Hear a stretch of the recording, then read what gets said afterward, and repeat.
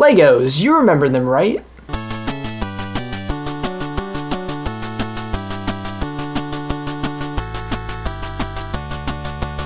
What started off as a little 1930s toy company in Denmark would later go on to become one of the most recognizable, influential, and powerful toy brands in the world. As a kid, they were my favorite toys to play with. It took time to put them together, but it only made them so much more satisfying to play with. Every store from Walmart to Target to Toys R Us had them, only making it more tempting to buy them, or in my case, beg for them. Usually, I never get them, but I can only imagine what they would be like if I did have them. Luckily, I had the internet, so I didn't really have to imagine what they look like as I could just search them up. This is back when the LEGO site used to look like this. I would browse the LEGO website daily, always looking for new sets that came out or any changes to the website. Another source for finding out new LEGO sets was of course YouTube. One day while I was searching up LEGO videos on YouTube, I got recommended a LEGO stop motion video. Something that kind of changed my life and exposed me to a whole new genre of video, brick films. I think I was about 3 to 4 years old when I first discovered brick films. Now I'm 16, and I think I should pay tribute to something that still inspires me to this day. So here we go, this is my little tribute to brick films on YouTube.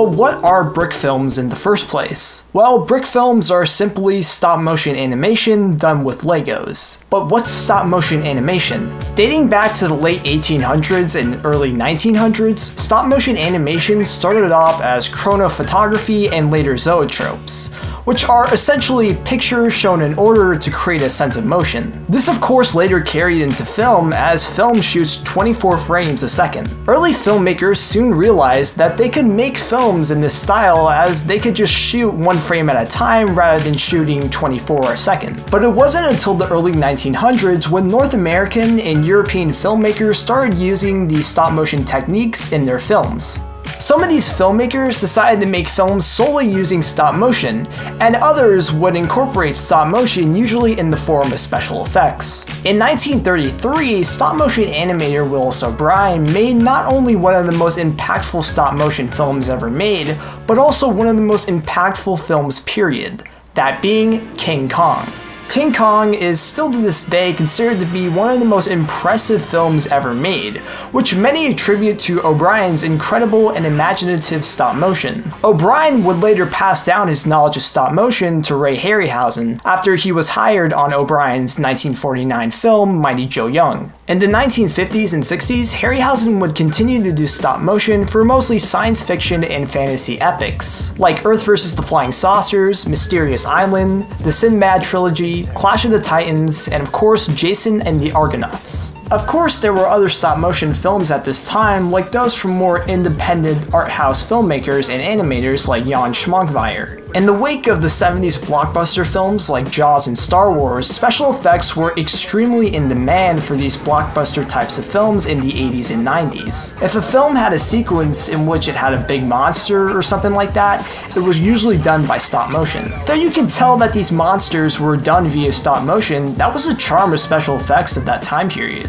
There was a lot of work and dedication that went into those effects, and if you ever see like a documentary or behind the scenes on one of these old movies, it really makes you appreciate these effects and goes to show you how amazing and expertly crafted they were. In 1993, director Steven Spielberg wanted stop motion dinosaur effects by stop motion animator Phil Tippett for his new film Jurassic Park. Tippett had previously worked on Star Wars, animating the AT-AT walkers, Robocop, where he animated Ed 209, and had animated his own short film, Prehistoric Beasts, that featured stop motion dinosaurs. Tippett would animate demo tests that used his famous go motion technique of stop motion. But at the time, special effects studio ILM was developing their own CGI dinosaur demos. When both demos were seen by Spielberg, he ended up choosing the CGI instead of the stop motion. Though CGI was previously used in other blockbuster movies, Jurassic Park was the film that made CGI the new definitive form of special effects in the film industry.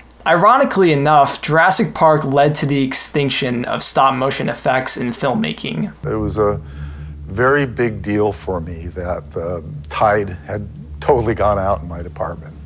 And it was, it was actually very emotional for me. It was, you know, I got like really sick. I got pneumonia and had to stay in bed for two weeks. And it was like,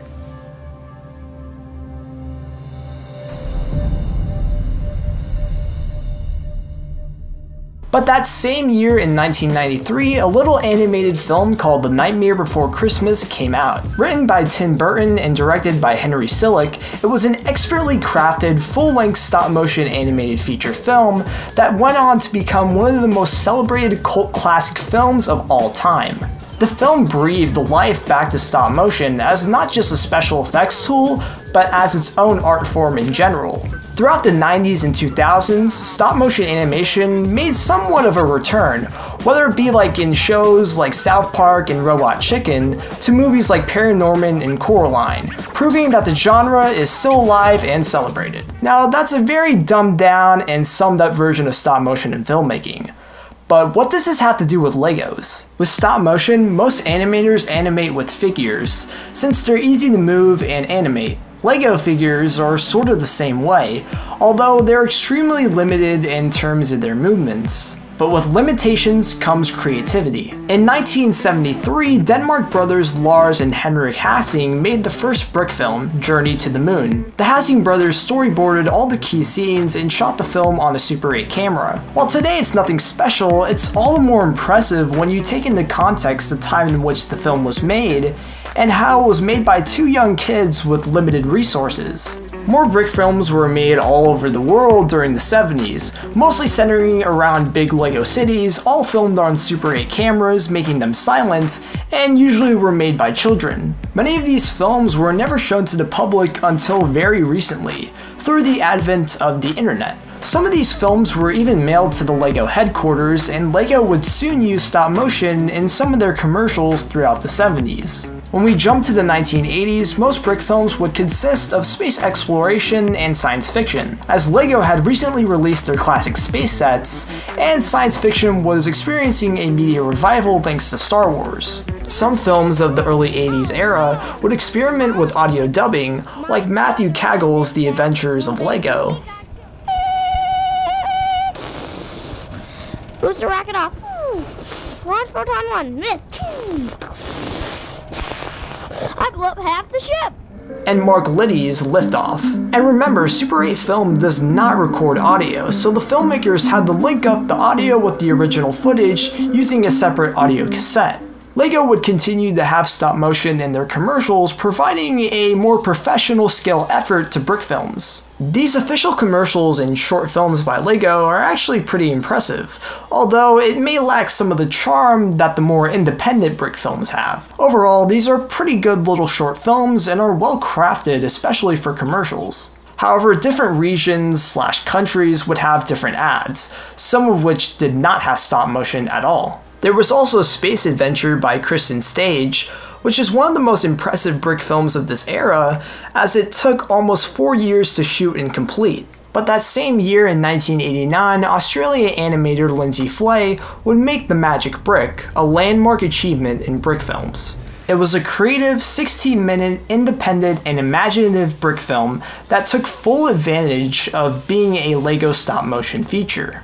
Though the film was sometimes rejected from worldwide film festivals, it somehow gained a cult following and popularized brick films as an independent subgenre of stop motion. For many years, The Magic Portal was considered to be the first ever brick film, as many of the brick films from the 70s weren't available for viewing until very recently. The 90s would usher in many brick filmers that were inspired by The Magic Portal, such as Star Lego and The Parasite. Star Lego was basically a recreation of the opening scene in Star Wars that was made by Miles Abbott and Kevin Burfitt. It was usually shown at science fiction conventions and was allegedly given to an ILM employee who showed it to George Lucas himself. Alexander Kobloski's The Parasite is more of a science fiction horror type film that has an original soundtrack but also uses a track from the film Akira. This is one of the more creepy brick films I've seen, but it's also one of the most creative and well made ones, especially for the 90s. Like some brick films of this era, The Parasite was filmed on a Super 8 camera,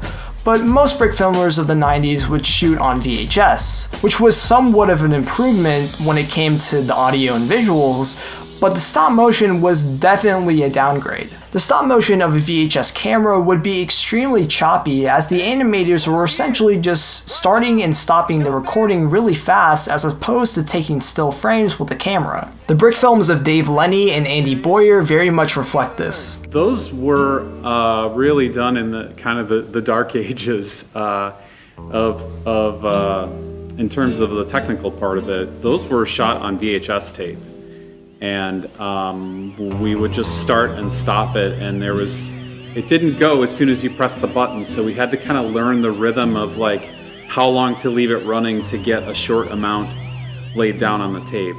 And we would shoot it first and then dub the audio in over the top of that later. So part of the the challenge with that was like having leaving enough room for the dialogue. Because sometimes you didn't know how long something was going to be until after you shot it, because that was all done in camera. When she, can you do? It couldn't fade. Wait. You couldn't have it fade out and fade back in again.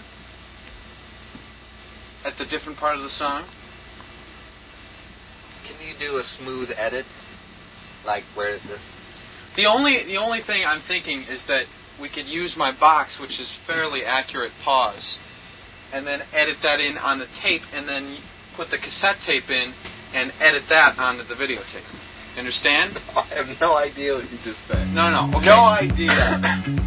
Though they were limited by the technology that they were using, the brick films of Dave Lenny and Andy Boyer are still some of the most iconic brick films of the 90s, and popularized brick filming as a hobby rather than just a short lived project. No matter which form of video you shot on a brick film, there was still no way to edit, although some would use experimental methods like dual VCRs. Brick filmer Alec Joler had a method to combat the slow nature of VHS stop motion by just fast forwarding the tape and dubbing the audio later, which he featured in his brick film Fast Forward. In 1994, brick filmers Ben Hammer and Peter Straub made Star Trek The Lego Generation, which is extremely important as it may have been the first brick film that was ever edited on a computer, more specifically the Macintosh Centris AV, with effects like mouth movements and chroma keying being utilized for perhaps the first time in brick film history. Following Star Trek The Lego Generation, some other Lego films in the 90s would use computer editing and digital effects,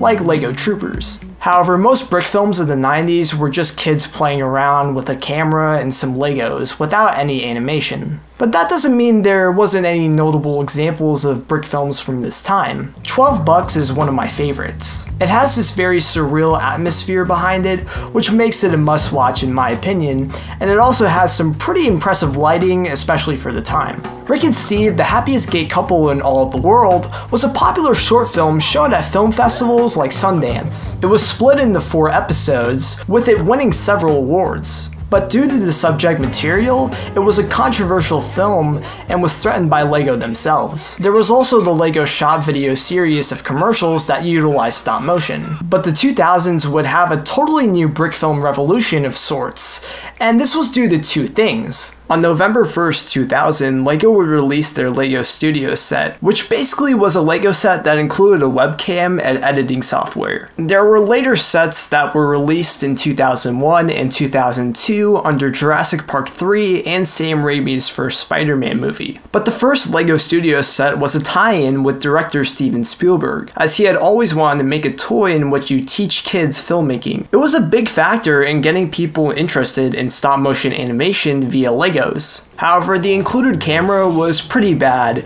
Although it was acceptable in the year 2000 for a toy no less, it soon became outdated. But something that didn't become outdated was sharing brick films via the internet. Most people who used the internet at this time were usually young, and were only on the internet because it provided them with new communities that were all dedicated to specific hobbies that would otherwise be obscure in the real world. Of course, some of these early communities would focus around movies and gaming, but one of these communities was the brick film community. It goes all the way back to the late 90s, as some users would talk about brick films and even post short GIFs and websites. But on December 15th, 2000, Jason Rowoldt created brickfilms.com, a website to share and talk about brick films. And from there, history was made. Following the creation of brickfilms.com, brickfilmers now had a place where they can discuss in forums and share videos with other brick filmers. And a lot of people started submitting their brick films, whether it be amateur or professional. Here are some of the highlights and personal favorites of the early and mid 2000s brick films. Let's start off with Jason Rowoldt's own brick films. His first couple of brick films were kinda crappy, but I think his stuff got better when he made Brick Film Director's Project, Group 2 Minute 4, which has some pretty creative use of weapons. He would later make Alone in 2002 and The Soul Chronicles Episode 1 in 2003, which is probably his best work. Spite Your Face Productions has some really well done ones, starting off with All of the Dead, which is of course inspired by George Romero's Night of the Living Dead and is filmed in a similar manner. However, they wouldn't perfect their craft until 1, A Space Odyssey, which is of course a LEGO recreation of Stanley Kubrick's 2001 A Space Odyssey. This caught the attention of the LEGO Group, who wanted Tony Mines and Tim Drake to make a Spider-Man LEGO brick film, in conjunction with the upcoming Sam Raimi Spider-Man film in 2002. The same year, LEGO Group as well as Lucasfilm also commissioned Mines and Drake to make a LEGO Star Wars brick film, with them making the Han Solo affair. My memory is very hazy, but I think this might have been the first LEGO stop motion film I ever saw. LEGO's Star Wars webpage had a collection of videos, and I think this was one of them. Or I might have seen it on YouTube or something, who knows. In terms of Spite Your Face Studios brick films, this one might be my favorite. Or maybe it's just nostalgia talking. There's a lot of work that went into this, and the editing and animation, as well as the set designs and lighting, are really well done. Spite Your Face Productions would later do The Peril of Doc Ock, which is another really impressive brick film even today. Amazon is a 2001 brick film by Dutch filmmaker Terreed Camps, and has some really good and fluid animation, albeit somewhat terrible video quality. Also, Thrax Zarathustra by Thomas Foote, also released in 2001 and also has some fluid animation. Foote would later be an organizer in Brickfest, which was an early brick film festival with prizes and stuff like that. This was held every year from 2000 to 2006 every summer in Washington, D.C. These events would also have contests for the best brick films. The idea of contests for brick films caught on as every other year there seemed to be a new yearly contest like the Brick and Motion Awards, and most recently and still going, Brick Filmers Guild Film Festival. The Gauntlet was the first of many brick films by Jay Silver, and it's really well done for the time. In 2002, he made the Star Wars brick film Rise of the Empire, which was basically Revenge of the Sith before Revenge of the Sith came out. It's really impressive as it has a lot of digital effects, which many say was a huge leap forward in digital editing and effects in brick films. Speaking of digital editing, the 2000s was the first time that digital editing was widely used by brick filmers. Most just edited their films with free to use software like iMovie or Windows Movie Maker. If they were more professional, they would use a software like Final Cut Pro or Adobe Premiere Pro. Andy Thornberry made a lot of horror movie recreation brick films, such as his first one, The Lego Chainsaw Massacre, and The Thing, both in 2001. He also did a LEGO style remake of Halloween and A Nightmare on Elm Street in 2007. Though these brick films have terrible quality via the LEGO Studios camera, Thornberry did a very accurate recreation of these films with the limited resources he had. Lots of early brick filmers were just like Thornberry, with them using the LEGO Studios camera. Many in the community started to use better alternative webcams, most notably Logitech's QuickCam 4000. This made LEGO brick films look way better, but a lot of these brick films at this time tend to look alike because of this. Zarkun 8 by Joel Batterman was also released in 2001. It was a Star Wars parody brick film with some good sets and fluid animation. 2002's Mystery of the Ewok was the first brick film by Nate Burr, who pioneered the dynamic duo style of brick films, which would become almost a standard for many brick films to come. Though the animation in his first brick films were mediocre to say the least, Burr significantly got better with brick filming as time went on, like Geek Out, Christmas with Bluntmation, The White Ninja, Grumpy Monkey, Side the Magic Word, Hear No Evil, and All Hollow Steve. Nick Monetias was a brick filmer who made Jedi Chronicles The First Duel, which is a really impressive brick film that won Best Lego Short at Brickfest 2002. Montias would later go on to make Good Company, Hit and Run, and The Interference. Grand Theft Auto by Patrick Waywer was an impressive brick film because it was over an hour long in length, which was unheard of at the time. Waywer also did Martian Gothic 1, 2, and 3, SS5 Moccasin, and Crossroad. Out of Time was one of the first brick films by Chris Salt, and it's a fairly good and funny one. It's one of my personal favorites. The early brick films of Joshua Leisure were pretty lackluster at first, but his brick film Great Microbiologist showed definite improvement. Leisure later made The Battle of New Orleans, System Reboot, and Cleaning Time, The Janitorial Contingency, which is probably my favorite film by him. The Letter is a really well animated brick film that has good sets and camera work, making it a personal favorite of mine. The same director did Zero Gravity Rebellion, which is another good one. Jonathan and Nathaniel Hellerman, otherwise known as Left Field Studios, started making brick films in 2002, but perfected their craft in 2004 with Abducted, Fred's Day, and Allahabad. But their most famous and technically advanced film from 2004 was Star Wars The Great Disturbance. To say that this film was impressive would be a huge understatement. It has a lot of great digital effects, with some of them being really creative in the way that they're used. It also has fluid animation throughout the film. This is more impressive when you realize it's over an hour and 14 minutes long and took 16 months to finish and complete. Overall, this is one of the most grand and innovative brick films to ever be made, especially for 2004. Left Field Studios also made Special Deliverance, Mind Control, and Unmasked. Dave Lenny and Andy Boyer also started making brick films again in 2003 and 2004, with Taco Trouble, Bork, and Breaking News, all with significantly better stop motion than the films they made in the 90s. Extreme Delivery is one of my favorites, and has really good and interesting use of set design. Brick filmer Mark Butler also made Reality What a Concept, which is another really good brick film with tons of good digital effects and stop motion. A Frosty Welcome is a really well done Star Wars brick film with a cool looking Hoth set. Resident Evil has some really jerky stop motion and terrible picture quality, but makes up for it due to the creative camera work and innovative lighting. Brick filmer Zach Mackius got his start in 2005 with his most notable works being the Ben and Andy series of videos. He even made projects for his school with his The Laws of Sir Isaac Newton, which he made for his 9th grade science class, and his Macbeth Act 5 Scene 7, which he made for an English project. The brick films of Zach Mackius are overall some of the most well-made brick films for the time,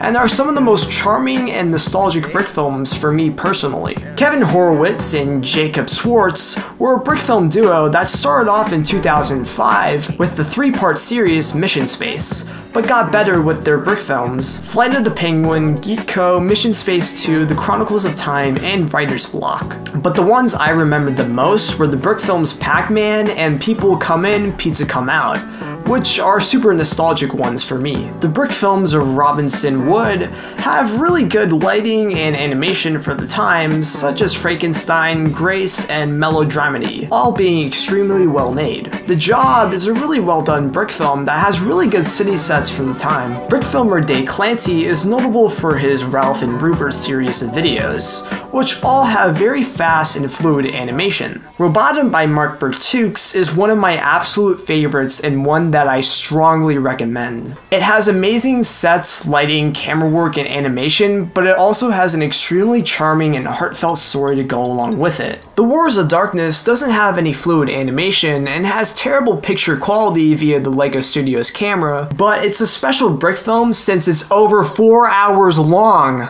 4 hours!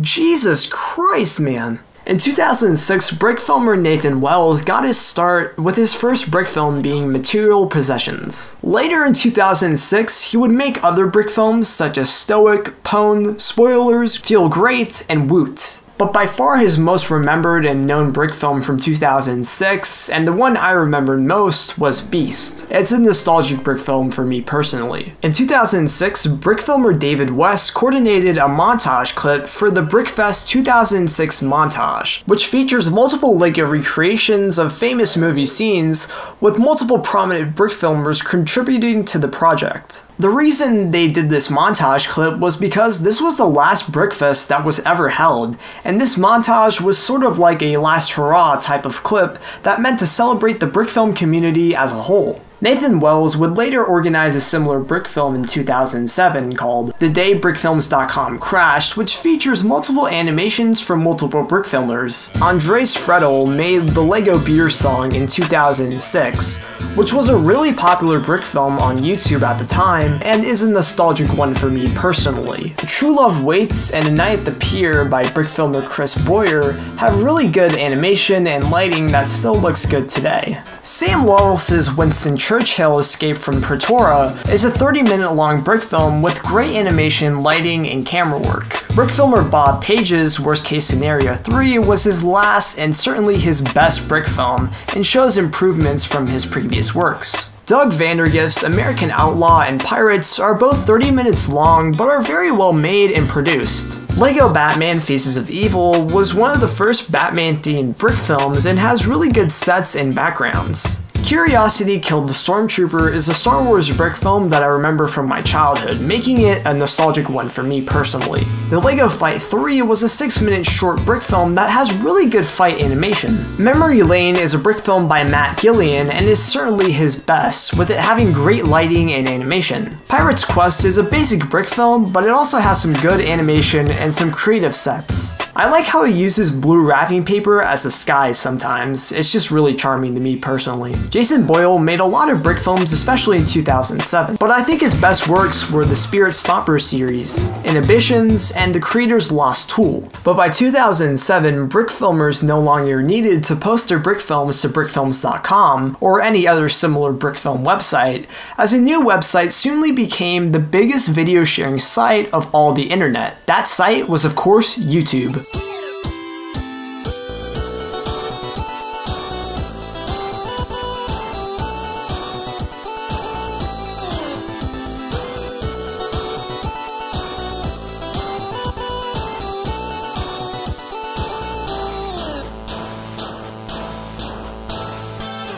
Though YouTube initially launched in 2005, it didn't become extremely popular until I would say late 2006 and early 2007. You have to remember that back in the mid 2000s, the internet was an extremely spread out place. It wasn't like today where you have a solid place like Reddit or YouTube, but a spread out website with different communities that had different niches. Once YouTube and Reddit were popularized, the need for sites like Newgrounds, GameFAQs, and of course BrickFilms.com became somewhat obsolete for better or for worse. But the rise of YouTube meant that brick filmers could not just submit their videos on a different and more popular site, meaning their brick films would be seen by a larger audience. Established brick filmers would also start uploading their older films to YouTube, and new brick filmers started altogether. Adam Sanders' Star Wars An Average Death Star Day was a really popular one at the time despite its low quality and is a nostalgic one for me personally. Sanders would also do other brick films with his quality improving over time. Batman Rebuilt is another one that I have nostalgia for, and I always love how the buildings and the sets were made out of cardboard. It just adds to the charm. The Creators by Junpei Mitsui was a really popular one that I never really liked, even at the time, but regardless, it was still popular. Brick filmer David Pagano also debatably made his best brick films around this time, like Little Guys, Go Mini Man Go, and Playback, which are all personal favorites of mine. Play Nice by Garrett Barati is as creative as it is charming, making it a personal favorite of mine. Play Nice was so good that LEGO commissioned Garrett to make a LEGO SpongeBob brick film, Don't Be a Jerk, It's Christmas. He also did the LEGO Space Police series of videos. I forgot these were ever a thing, and honestly, it was like finding the lost ark of nostalgia for me. That's the best way I can possibly describe it. Finding these videos was like finding a lost part of my soul I completely forgot existed. But Garrett's best known work to me and many others was the fastest and funniest LEGO Star Wars story ever told, and its sequel, the fastest and funniest LEGO Star Wars story ever told, the prequel. They were basically what the title implies, which is telling the Star Wars movies as funny and as fast as possible with LEGO stop motion. These ones too are pretty nostalgic ones for me, and are personal favorites. Squad 42 Null Alternative is another Star Wars brick film that I think was cooler when I was a kid than I think it is now. Apocalypse LEGO Episode 1 Frozen Terror was another fairly popular one with some cool snow sets and violent animation. Clone Training Center was another really popular one and is a favorite by many. The same guy who did Clone Training Center, Jordan Johnson, would later do The Force Unleashed, which I think is his best work. The choreography, editing, and animation always blew my mind as a kid every time I watched it, and I think it still holds up today. Battle of the Brick, built for combat, was a brick film based on the Halo games, and is debatably the greatest brick film ever made, and certainly one of the most impressive. As a kid, I always felt this one looked way too good and professional, thus I didn't like it. But over the years, it's become one of my favorite brick films, and I'm not the only one who thinks this, as the game trailer's upload of the film has over 80 million views. It's truly one of the best, and one I seriously recommend. Stormtrippin' and Stormtrippin' 2 A New Home, both by Aaron Legg, are Star Wars brick films that are really well made and extremely charming. And that's all my favorite brick films and brick filmers that are on the Brick Film Wikipedia. However, there are more brick films and brick filmers that aren't on the Brick Film Wiki, which is the main source I used when researching these brick films. Well, technically, there are brick filmers that are on the Brick Film Wiki that I'm about to talk about, but I decided to talk about them in this part of the video since I think it fits better, so just enjoy. The brick films of LEGO Dude 8000 are really nostalgic ones for me, with the most notable examples being LEGO Bike Race, LEGO Star Wars Episode 2.9 The Droid's Revenge, and Skateboard Movie being all classics to me. However, his most nostalgic one for me is probably Boba Fett. The brick films of Golf Craziness 18 are really bad brick films, but I still have a nostalgia bias when it comes to them. I don't know how to explain it, but the bad quality of both the animation and the audio adds to the charm and some of the comedy of these brick films. Excuse me, sir. Do you have the time? Yeah, I do. It's time for you to get a watch, asshole. Michael Hickox's first brick films have some choppy and overall poor animation, but I still used to watch these videos all the time when I was a kid, especially the ninja ones and the arcade ones. As time went on, he became a better brick filmer and he still makes brick films to this day. But I still prefer the minimalist brick films that he made in his early career as I have a lot of nostalgia when it comes to those. Jedi Hunters by Dizzle is another one I remember from my childhood and has some really creative use in miniatures which I never really noticed as a kid. Black Stormtrooper was a brick film I didn't discover till way later, but it's definitely a must watch, as it has some funny writing with great and creative animation to boot. Donald Faison would make two sequels, as Black Stormtrooper 2 and Black Stormtrooper 3, which are also pretty good, so check them out. Metal Zora has lots of Star Wars comedy brick films that are pretty nostalgic for me, and still have decent animation. Droid Race Tatooine and Droid Race 2 Hoth are brick films that haven't aged well, but I still remember them fondly from when I was a kid. Then there's the Star Wars LEGO Edition Trilogy, which isn't really a brick film since it's not stop motion, but it is digital animation if you want to call what you're looking at as animation. But still, it's worth a shout out as I saw these when I was a kid. The guy who made these, Brian DeLing, said that he made this for a college animation project that required him to make animation through images entirely found on the internet, and he just decided to make short remakes of the original Star Wars trilogy. Speaking of Star Wars remakes in LEGO, there was also Star Wars A New Hope LEGO Remake, which was a frame-by-frame remake of the first Star Wars film, but in LEGO stop motion. This is another one that I loved as a kid, but hasn't aged that well. Still though, the sets are really well done, and the concept of remaking a whole movie in LEGO is a pretty ambitious concept, especially for the early to mid 2000s when this was made. But this brick film remake of the original Star Wars was only partially completed. Then there's Colin Hooper's LEGO Star Wars Episode 1 and 2, which I also think didn't age well, though they had some decent digital effects for at least the time.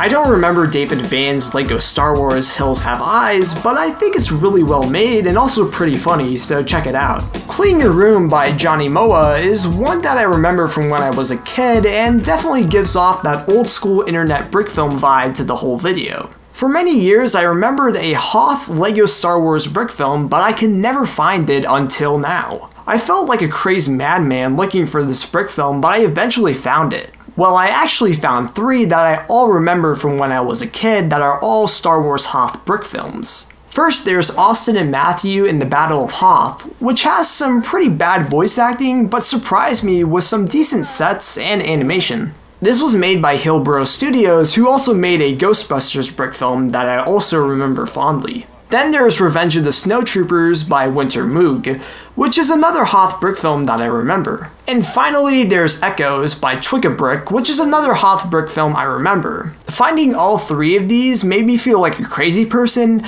but I did it and now I can go to sleep happy knowing I recovered a piece of my childhood. LEGO Star Wars Part 1, 2, and 3 by Jay Walker are three really well made Star Wars brick films that I used to watch constantly when I was a kid, and I still think they hold up fairly well today. The Final Showdown by Lord Tice was a really popular Star Wars brick film at the time, and I still have some nostalgia towards it. As you can probably tell, I was a huge fan of Star Wars brick films, as I was a huge fan of Star Wars in general when I was a kid. Don't worry, I still like Star Wars, but only the original trilogy. The prequels have some really good moments, especially Revenge of the Sith, but they're mostly bad in most areas. Don't even get me started on the new ones, as I'll probably be here bitching about them all day and how much I fucking hate them. Except for Rogue One, that one was kinda decent. I also used to watch Star Wars action figure stop motion videos on YouTube, like Chris Martin's TD9993 Sand Trooper Trilogy and Dark Star Universe's Star Wars New Republic Old Empire. Anyways, back to brick films. Another brick film channel I loved as a kid and still gives me nostalgia is Blob Studios. I used to watch his videos all the time and they still have good sets, lighting, and stop motion. His brick films like Batman Faces the Joker, The New Guy, Lego Indiana Jones and the Temple of Cornflakes, Wasted Wookiees, A Nasty Surprise, Django Eats Out, Magic Brick, and Lego Star Wars Christmas Special are always favorites of mine that always bring me back to my childhood. Some people may call Avengers Infinity War the most ambitious crossover in history, but to me it's the LEGO Star Wars Batman and Indiana Jones movie. Usually, brick filmers at this time would use what little internet clout they had at the time and network with other brick filmers as maybe guest voice actors or something like that. One example in Blob Studios' brick film was in the LEGO Star Wars Stormtroopers Coffee Break, where one of the Stormtroopers is played by a fellow stop motion YouTuber. This guest voice actor is probably the main reason I made this video in the first place, and without him, I don't even think YouTube or even my childhood would be the same without him. The voice actor for the Stormtrooper was Forrest Whaley, aka Forrestfire101. Forrest Whaley, born May 1994, started doing stop motion when he was about 11 or 12 years old. His first documented brick film was a short Batman one called Batman Kills Alfred in 2006. Though this wasn't released to his YouTube channel, it was the first one he ever made and it definitely shows it. It's not good, but every legend has a beginning.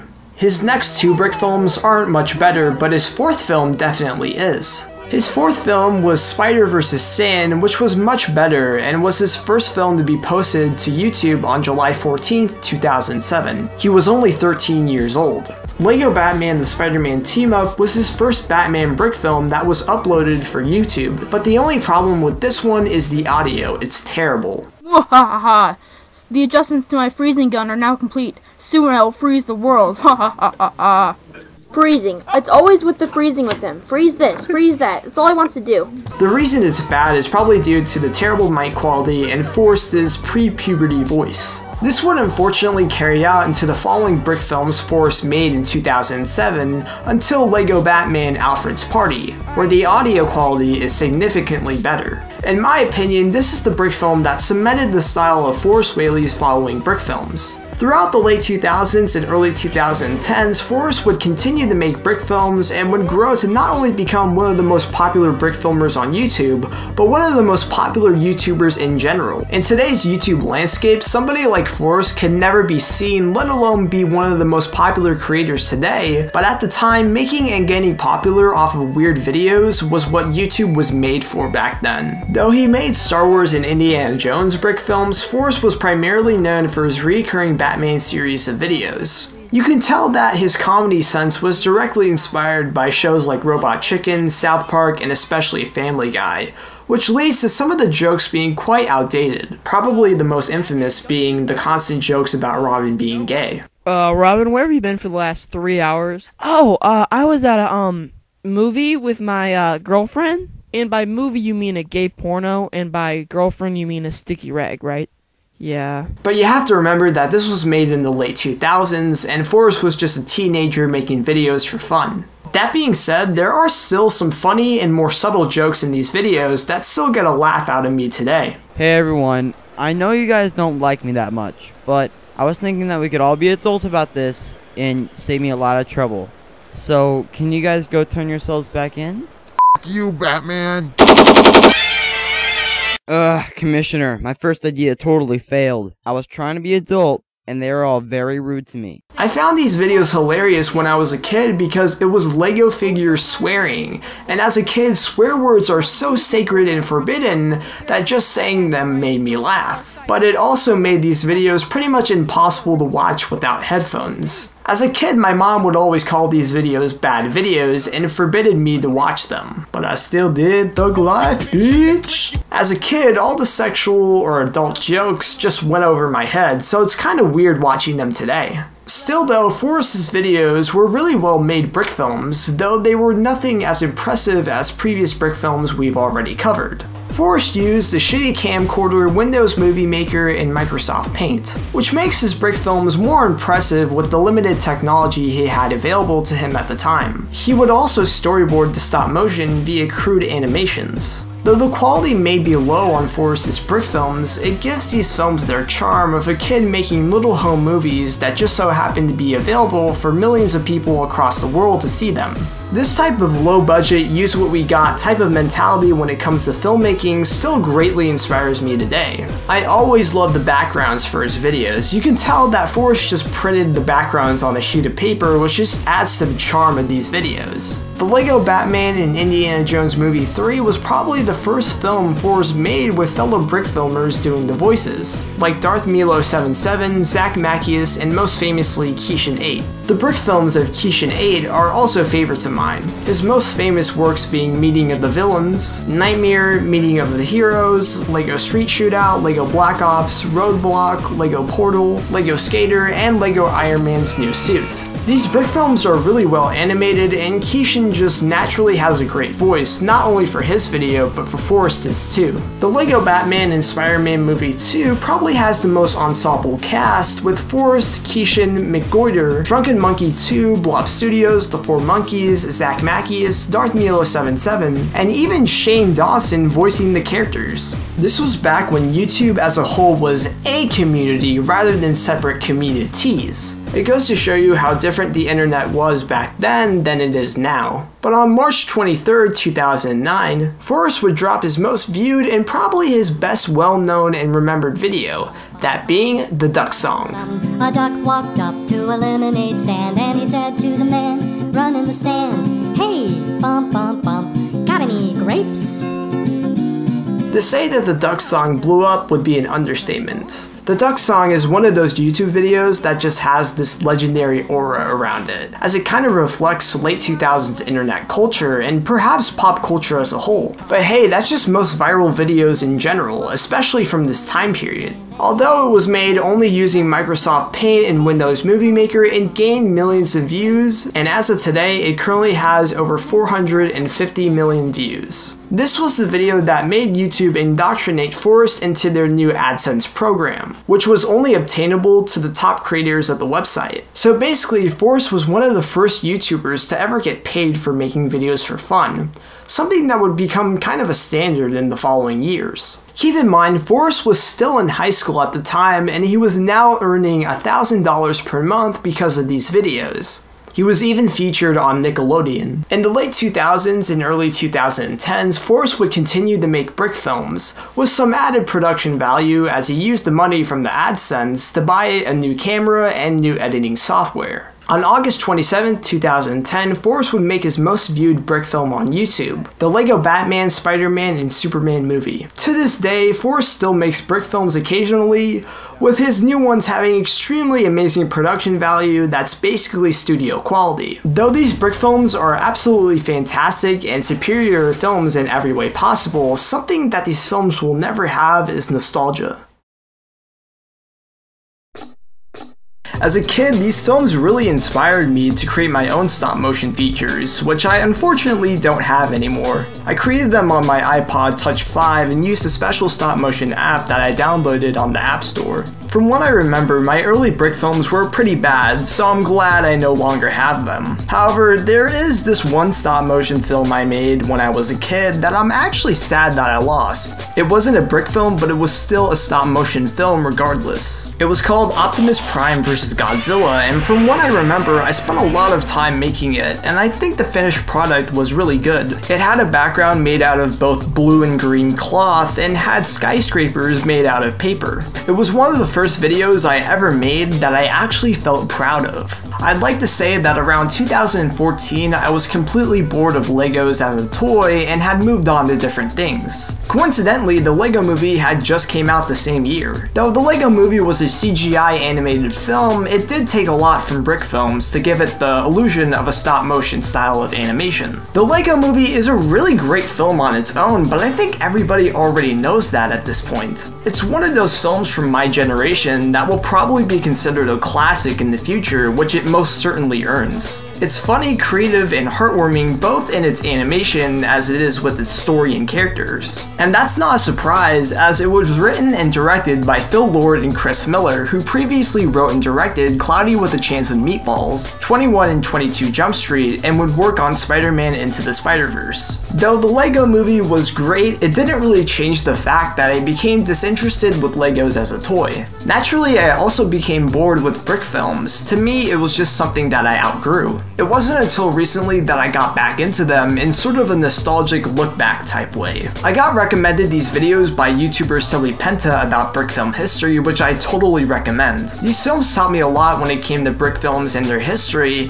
and overall are really good, so check them out. Though my video has history behind it, Silly Penta's videos have a solid and more accurate history of brick films themselves. And if you want to learn more about them, then check out these videos. This is where I discovered the brick film wiki and everything else that came with it. And I realized that there were a lot more to brick films than I initially thought when I was a kid. I had a lot of fun going through the different films, both new and old, and if you want to check it out yourself, I suggest you do that. And maybe you'll find some hidden classics along the way, as did I. Brick films are still being made, but I haven't really covered the new ones, as this video was more of a personal look back driven sort of one. So sorry if there's any new ones I forgot. One brick filmer that sort of blew up recently is Pantsahat, who has also done action figure stop motion. His new brick films are some of my favorites. They are really well animated and have a modern meme influenced sense of comedy, so I totally recommend these ones to anyone. Boy, that's a little steep for my pockets.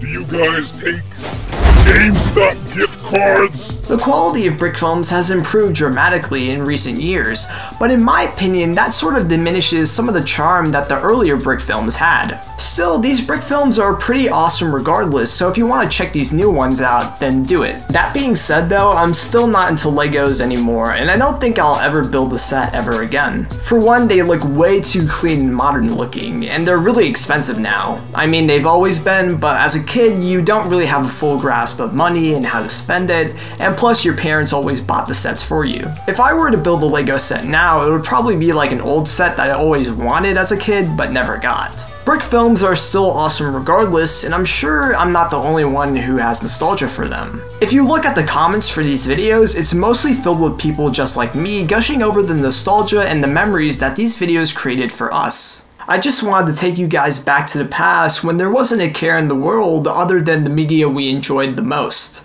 Even if you've never seen or heard of a brick film, I hope you enjoyed this video or learned something from it. And for those who have, I hope that this video brought you the same nostalgia that I had making it. Like I said, these films really inspired me to not only make my own stop motion films, but to just make my own films in general. As corny as it is to say, I don't think I would ever be the same without these videos. And for some little stop motion films that were made by mostly children and teenagers, they went a long way in building me as a filmmaker. No matter how time consuming or archaic stop motion may be, it's still one of the most charming and impressive forms of not only animation, but as art in general. And brick films are only a part of how great stop motion truly is. May it never be forgotten and may it never die out. Poker face, poker face. Oh, and one more thing. As a kid, if there was one set that me and my younger brother wanted the most, it would be the LEGO Death Star. Me and my brother really wanted it, but we never got it. First of all, it was recommended for ages 14 and up, which was always my mom's excuse for her not getting it for us. Also, it cost $400, making it one of the most expensive LEGO sets. Now I can see why my mom always used the 14 and up excuse, and rightfully so. Also, this came out the same year as the 2008 stock market crash. The only kid I knew at the time who had this was a rich asshole type of kid. As superficial as it may be, I still want that Death Star set. I don't know how or when I'm gonna get it, but when I do get it, I'm gonna build it with my brother like we used to when we were kids.